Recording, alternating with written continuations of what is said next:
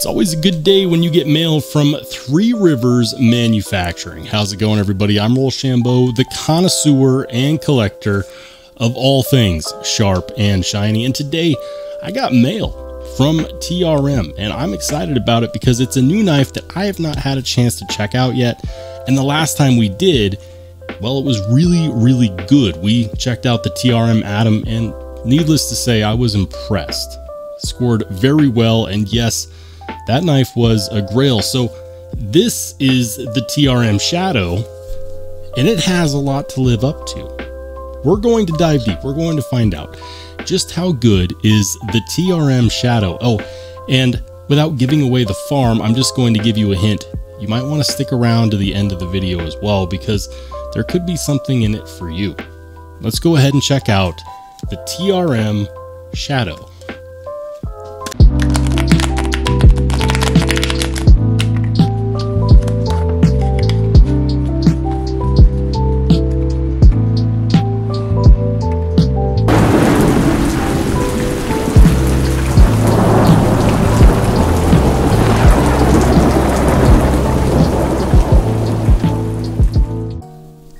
Right, guys, if you couldn't tell by the beginning of the video, I am super excited about this one. But uh, this knife is not the only thing that was sent my way. We've also got a patch. We've got a titanium keychain called the tie tag. We've got a TRM bit kit with the Wiha bits. That's pretty cool. And then we of course have some stickers and a titanium river stone. That's pretty sweet.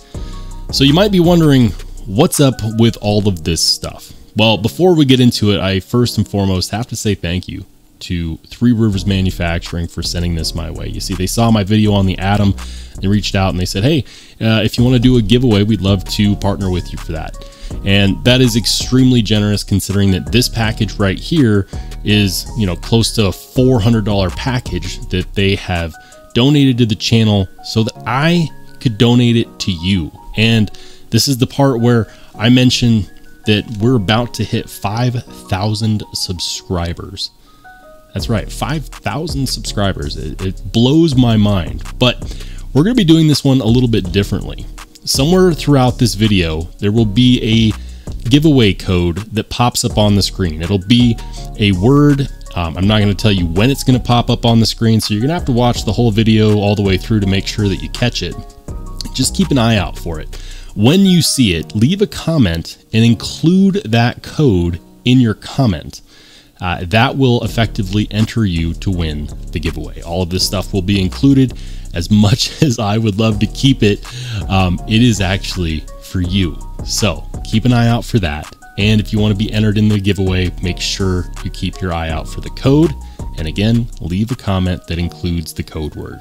All right, guys. So let's go ahead and clear this stuff off. And talk about this. First and foremost, they do sell these uh, these knife boxes. These are super cool. The first time that I looked at it, I struggled because I just tried to pull it out. Uh, no, you see these ridges right here? You just give it a little twist, it'll pop, and then it pulls out. Uh, that's really, really clever, very useful. I like that a lot. Inside the tube, we have the TRM Shadow River Lock. Sticker right here says extremely sharp. And here it is, the TRM Shadow River Lock. Dang, that's a good looking knife. Um, here's what we're gonna do. Uh, I'll go over the specs. I'm gonna talk about what I like. I'll talk about what I don't like. Then I'll give you my final opinion. So let's start off with the materials. We're looking at G10 handle scales, uh, CPM 20 CV on the blade. It does have thumb studs and the river lock, which is of course a play on the Benchmade Axis lock. Since the patent expired, they were able to make this just like everybody else.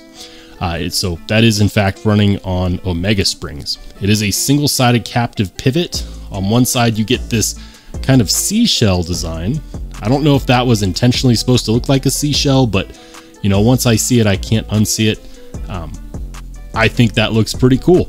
On this side, we have a T8 screw, titanium deep carry bent pocket clip, and then T6 screws.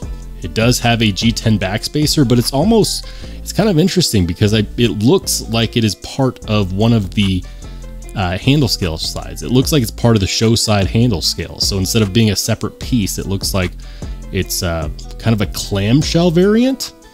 I like it. I like it a lot. The blade shape, we are looking at a clip point. This is, in fact, the same blade shape that you get on the TRM Nerd, which is another knife that I really would love to check out at some point. Um, and we are looking at a flat grind on the blade. Uh, I don't believe that this is a full flat grind, but I do believe that this is a flat grind. Uh, you have this really generous finger cutout slash sharpening choil here at the front, so you can, of course, choke up. For the dimensions, we're looking at a 3.2 inch blade. This is 0.9 inches thick.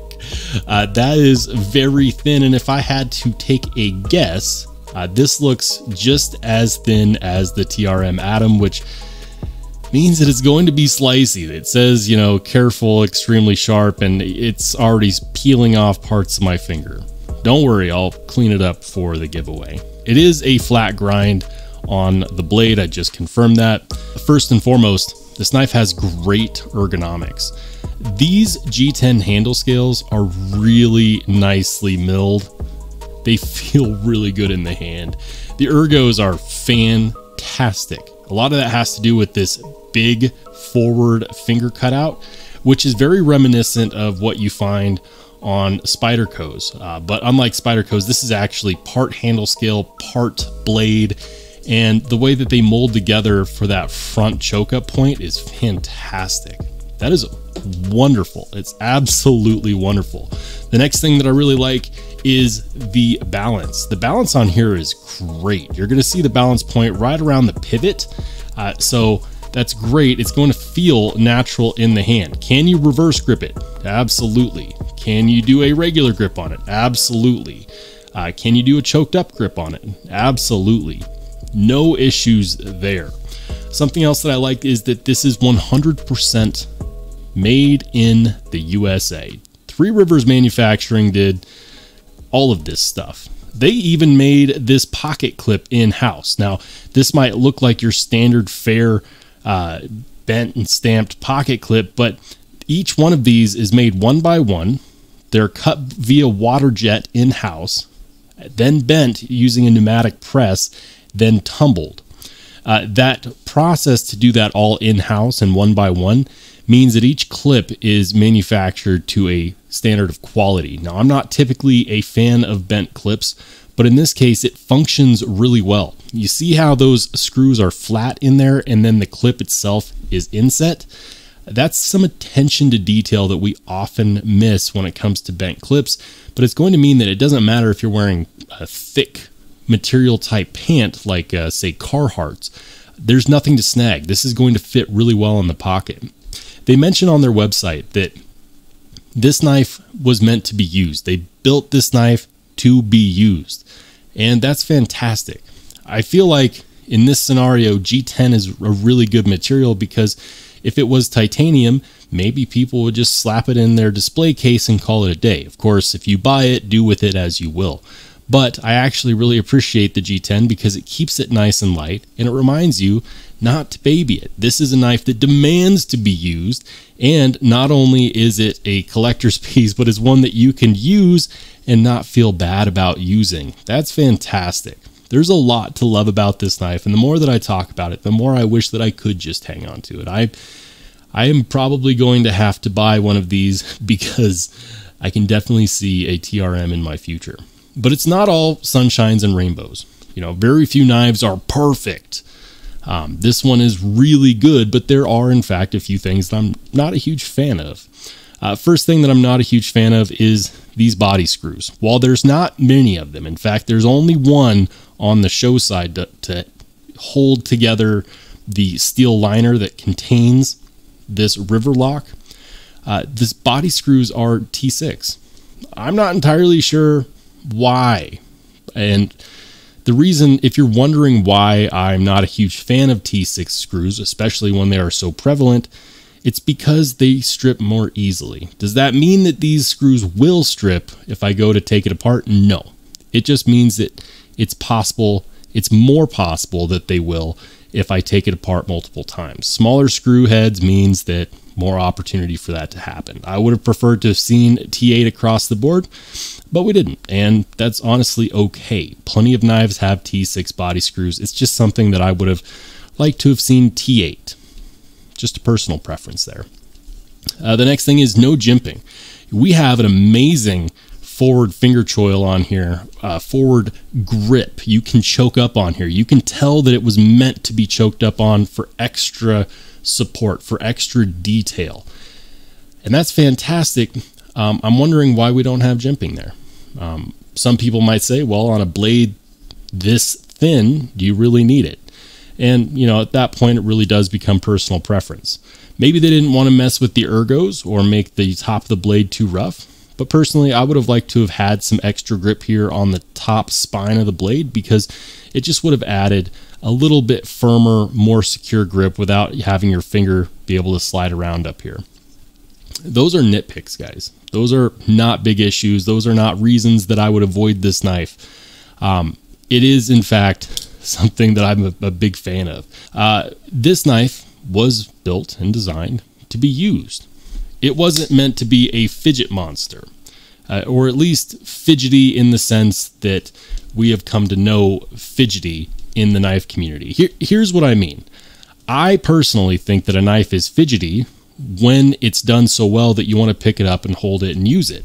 Um, the more you like a knife, the more likely you are to handle it. And that's the case with this one. It's not fidgety because it has the most amazing action in the world. It's fidgety because it's just so damn good that I could see myself carrying this knife every single day and being happy with it. If you're someone that, you know, buys knives to carry them and use them specifically, um, or maybe you just want something that's super slicey, this is one that you're going to want to hold on to. It's going to be one that you want to put in your pocket, and it's going to be really at home there. So, is it fidgety because it has amazing action? No, the action is decent, but it's not, you know, amazing. It's not going to be super guillotine unless you have that pivot loosened to the point where there is a tiny amount of blade play. Um, personally, as much as I like having fall shut action, I would much rather have zero blade play. And with that pivot tightened a little bit more, you can get there without an issue. If you want a fall shut action, you can achieve it. Uh, you just have to have the pivot loosened to the point where it will fall shut. Uh, but at that point, you will in fact have a tiny amount of blade play that is insignificant and does not actually affect the performance of the knife. So that's just my preference. How strong is the Riverlock? Well, it is based on Omega Springs, and some people have had issues with those. Other people have batoned with knives that have Omega Springs, and been able to baton through logs no problem. So, you know, your mileage may vary. I haven't done those tests on these knives because, well, this one is going to be given away. But, you know, if anyone would like to donate their TRM Shadow so that I can baton with it on camera, let me know. My email address is in the description down below, and I would love to do that.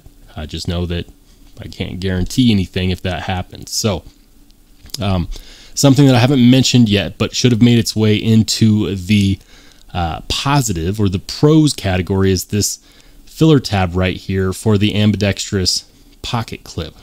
That's a nice touch. But ultimately, guys, this is a knife that you probably already know by now. I really like, and I hope that you've noticed the secret code pop up in the video so far. If you haven't, you might want to scroll back through and see if you can find it. Um, that is how you can enter to win this knife and all the extra stuff that came with it. Again, shout out and thank you to Three Rivers Manufacturing for their generosity and for being willing to sponsor the 5,000 subscriber giveaway. Um, if you want one of these and you don't want to wait for the giveaway, I hear that they're coming out with some in a Merlot micarta, which looks absolutely gorgeous. Check them out on Instagram. I'll have that pop up here on the screen as well. Guys, if you want to see more awesome knife content, uh, go ahead and click on the video that pops up next.